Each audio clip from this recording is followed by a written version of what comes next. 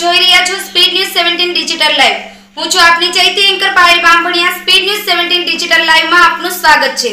તો જોઈએ આજના મહત્વના સમાચારમાં.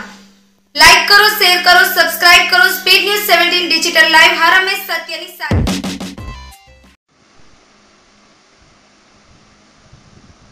અજમેર હજરત ખ્વાજા મોઇનુદ્દીન ચિસ્તીના દરગાહ શરીફ ફરીથી રાબેતા મુજબ દર્શનાર્થીઓ માટે ખુલ્લી મૂકવા દરગાહ શરીફના ખાદિમની માંગ.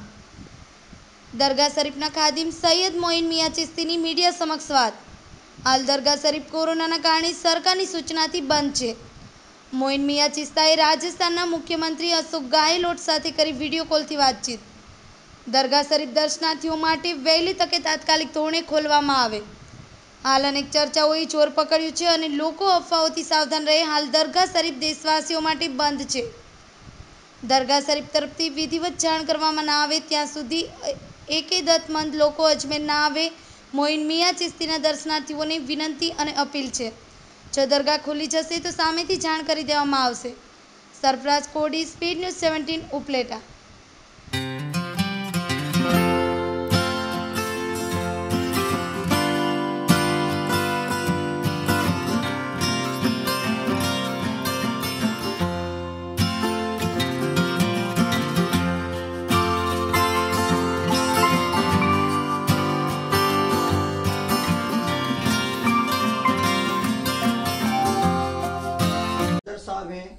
Moin Hussain Chishti साहब के पास पहुँच चुका हूँ। तो आज हम इनसे ये जानकारी करेंगे कि जो कल मीटिंग हुई सीएम गहलोत की जानिब से अंजुमन कमेटी से तो वो कल क्या मीटिंग हुई थी, उसमें क्या बात हुई, दरगाह शरीफ कब खुलने वाला, दरगाह शरीफ के मुतालिक क्या बात रखी गई?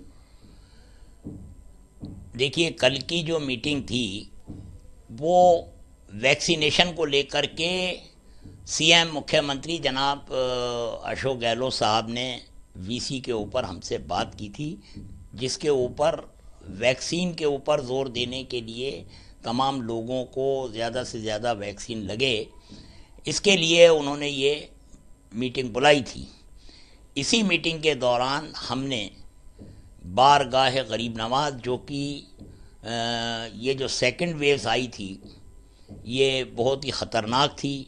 पूरा मुल्क इससे मुतासर था। उसको देखते हुए 16 अप्रैल को ज़ायरीन की एंट्री को बंद कर दिया गया था। हालाँकि दरबार शरीफ तो खुले हुए हैं, लेकिन उसमें सिर्फ़ और सिर्फ़ जमीय ख़ुद्दाम ख्वाजा ही दरबार में हाजिर होते हैं और जो दरबार शरीफ की रसूमात हैं, उसको अंजाम देते हैं और तमाम जमीय ख़ुद्दाम ख्वाजा की जानब से दरबार में दुआ होती है कि अल्लाह रब्बुल इज़्ज़त सरकार गरीब नवाज़ के सदक़े में ये जो कुछ भी वबा है, ये हमारे मुल्क से, ना सिर्फ़ हमारे मुल्क से, बल्कि आलम इंसानियत से ये दफ़ा, ये वबा दफ़ा हो जाए। इसके लिए तमाम खुदाम ख्वाजा दुआ करते हैं। और जब से ये लॉकडाउन लगा हुआ है, दरबार शरीफ के अंदर 16 अप्रैल से अब तक ज़ायरीन की एंट्री बिल्कुल बंद है। इसके चलते तमाम ज़ायरीन जो है वो तड़प रहे हैं। जो लोग बारगाह गरीब नवाज़ में हाज़िरी का इरादा रखते हैं, वो तमाम अपने अपने जो वकील हैं, जो खुदाम ख्वाजा हैं, जिनके ज़रिए से वो दरबार में हाज़िरी देते हैं, उनसे बार बार रबता करते हैं और हमारे पास भी कई फ़ोन कॉल्स आते रहते हैं।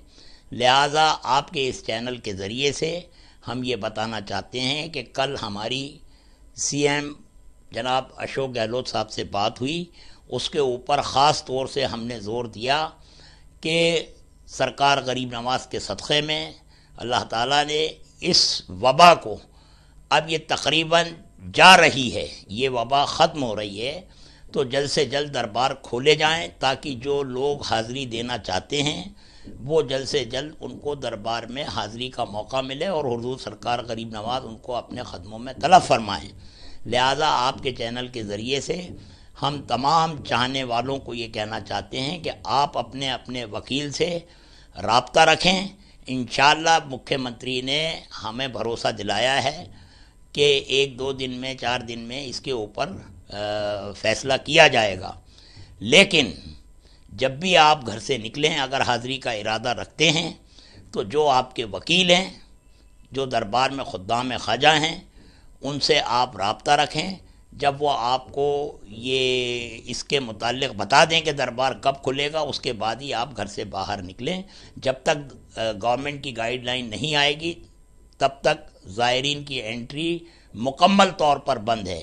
लेकिन कल की मीटिंग के बाद में जो रबता हुआ, उसमें सीएम साहब ने कहा कि बहुत जल्द इस मामले के ऊपर फैसला करेंगे कि दरबार शरीफ खुल जाएँ और लोगों की हाज़िरी दरबार में हो। लिहाजा इन ताला उम्मीद है ख्वाजा साहब के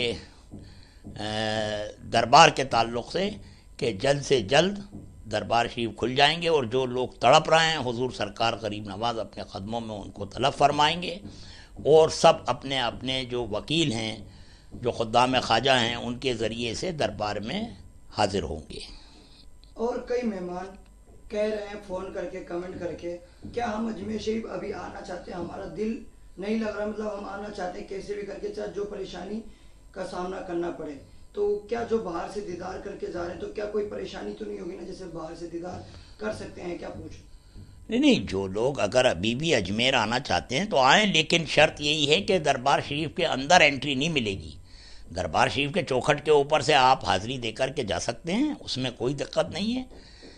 दरबार शरीफ जो है, अभी जब तक गवर्नमेंट की नई गाइडलाइन नहीं आती है तब तक दरबार शरीफ मुकम्मल तौर पर ज़ायरीन के लिए बंद हैं। लिहाजा आप अगर आना चाहते हैं और बहुत ज़रूरी है अगर आना तो आपको बाहर गेट पर से ही सलामी देनी होगी, अंदर एंट्री कतई नहीं मिलेगी। लेकिन इन ताला सीएम ने भरोसा भी दिलाया हमको, कल हमारी बातचीत हुई, उसमें उन्होंने कहा कि जल्द से जल्द इस मामले के ऊपर फैसला किया जाएगा तो इन बहुत जल्द दरबार खुल जाएँगे। जी दरबार खुलने के साथ साथ मेन इम्पोर्टेंट रखते हैं मार्केट अजमेर के।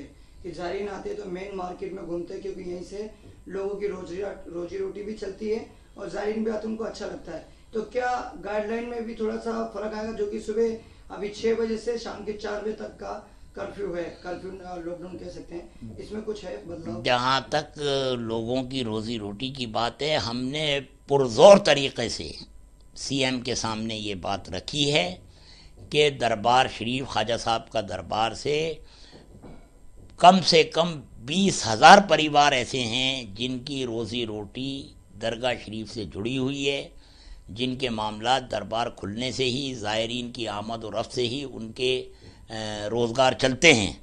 तो ख़ास तौर से इस बात के ऊपर हमने ज़ोर दिया है और इसके ऊपर मुख्यमंत्री ने भी बड़ा ही संजीदगी से इसको लिया है और उन्होंने जब हमने ये बात की तो उन्होंने अपने पेन से नोट किए इस बात को।